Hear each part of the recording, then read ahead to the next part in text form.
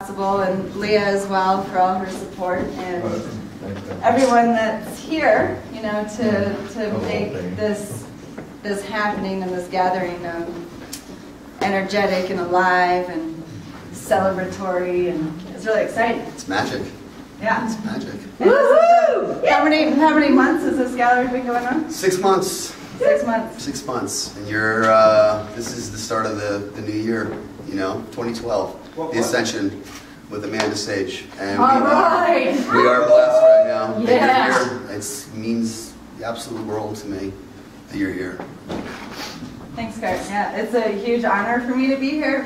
For first and foremost, personally, because I was born here. I was born in Denver and never actually lived here. Grew up in Boulder for a major part of my my years of of uh, evolving and becoming who I am today. And I'm really excited that there are a lot of people here today, my family and teachers and fellow students that that I grew up with, and it's a really big honor to share who I've become and the work that I've done with everyone.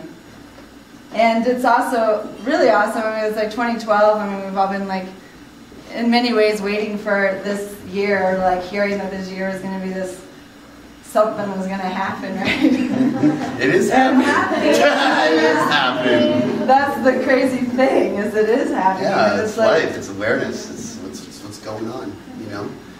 And today I found a friend of mine actually wrote um, me a little message yesterday saying that February 11th was kind of an auspicious, auspicious day as um, Mary Magdalene appeared for the first time in an apparition in, in Lourdes, France.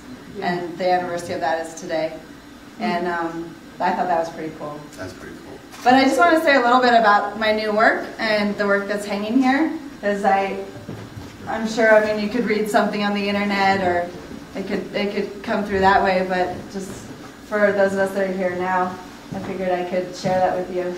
Um, it's, it's titled Self-Exposure, and I kind of centered that around this really big piece that's here to the right.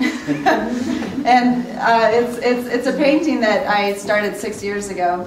Um, and I read about this gesture, the lifting of the skirt, in a book called um, The Story of V by Catherine Blackledge. And it was such an empowering gesture, and I really uh, was blown away by it and started talking about it with people and realized that nobody really knew about this. And so I decided I had to paint it.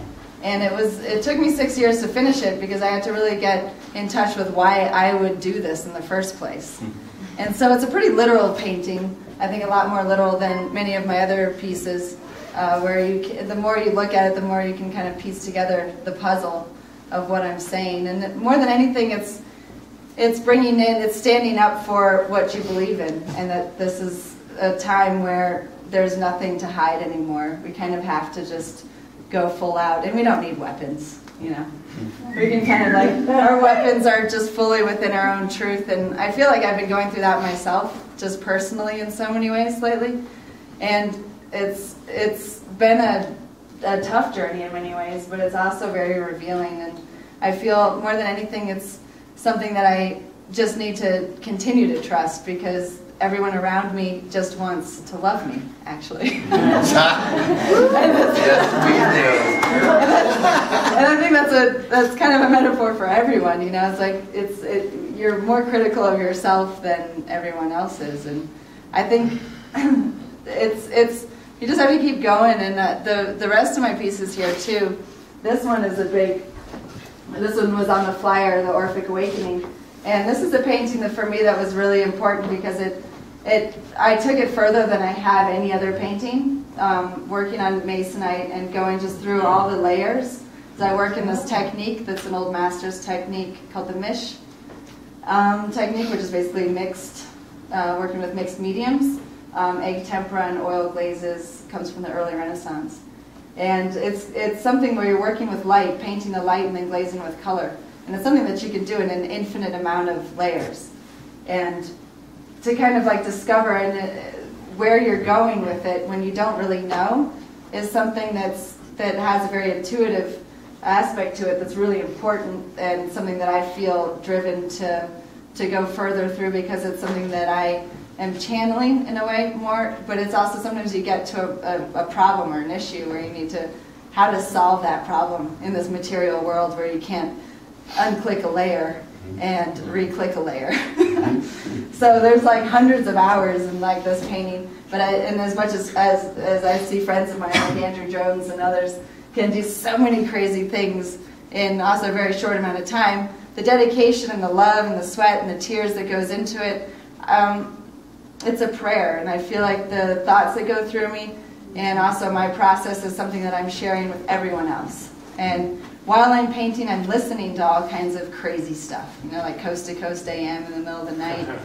also listening to David Wilcock's new book, um, really, really awesome, The Source Field Investigations. Uh, and all of this is really helping me realize that we're all interconnected and it's all something that we're doing as a family in, in a really greater sense. And it takes our individual just awareness to, to realize that every little thing that we do has an influence in the greater picture. Yeah. And every little thought on top of that, which just gets kind of even more intense. so, and these three paintings here are also brand new. They haven't, I haven't released them anywhere else. Um, I've kind of nicknamed the, them the prophets at different times, and I started them last year, almost exactly a year ago, as live paintings. Um, two of them started, Mind and Body started on the street of, streets of LA during Downtown Art Walk. And I had a concept with them that, they, that I started with the form of the egg and with a specific color and knowing that there was going to be a face in the middle and nothing more and allowing the environment to help um, direct what was happening. also the shape of the egg is something I'd like to talk about because it's something that's really reoccurring in my work and that came um, in 2006 when I went on a journey to Bali on a little self, a little vision quest. And there was a snake that brought this egg to me in a painting, uh, one of my first paintings there. And it was kind of came out of the swirls of color and everything, and this rainbow snake had an egg in its mouth. And I, there was a bit of a self-portrait of me sleeping, and I was just kind of like, whoa, Mr. Snake, thanks. And I was, I'd been looking for a vessel that I could put everything into and feel safe. And it seemed like this eternal form. And the more I learned about the egg, it is something that that is that is something that is in every culture and every every story, and it's where we all come from. So It's the shape of our cells and our planet. It's the organic symmetry within everything. And to me, it's almost like a portal and a window through which we can go through. And maybe it's one of those windows that we'll go through and time will dissolve. Duality will dissolve. And I feel like that's where we're, where, where we're at now. And the painting that I'm standing to now, um, right now, is kind of my most um, present, my most like actual, actual like in progress piece. Like this is probably the least. Yeah, it's still not finished, but they're like little things, little things. They're they're people actually. And the thing is about this painting is this is a dream and a vision that I've felt for years, and it started to really crystallize in the past few months. And it's a vision about a train. And it's a physical train. It's not just a metaphor. Although it is a metaphor. You know, it's kind of like it is all of it. You know, so just go with flow with me, right? and it's the train is something that, that is it's a vehicle that I see everybody being able to tap into. And it being something that it's not a stagnant um, place.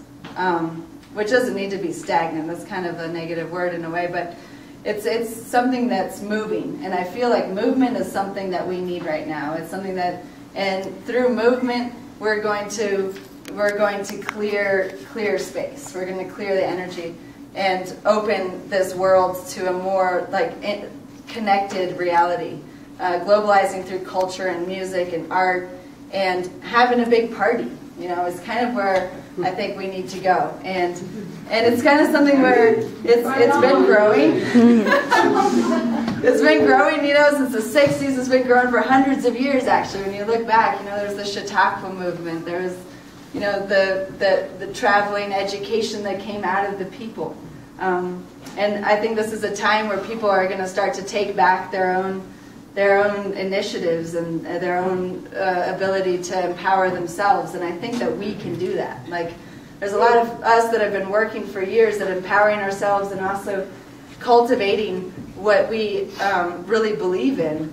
And it's time to kind of like give that back, you know. And there's a lot of like technology. There's a, a lot of like knowledge about food, about medicine, about all kinds of things about psychology that we all know and that our ancestors have known. And our, our contemporary media doesn't really broadcast that, you know, anymore.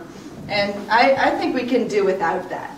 And I think we can make a movement that's actually so viral that it will be tapped into in, in the billions. Like billions of people will want to be a part of this. Yes. Little ones and old ones and everybody in between. Just because it's like so fun and it is just feels good, right? Like those things is all it really needs to be about.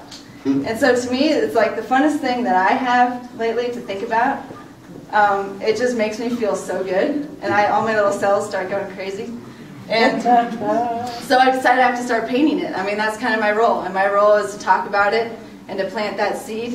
And it's kind of, it's not like, all right, be there, do this, that's kind of like the paradigm that we're going out of. It's more, how do you want to participate in this? What do you want to contribute to this?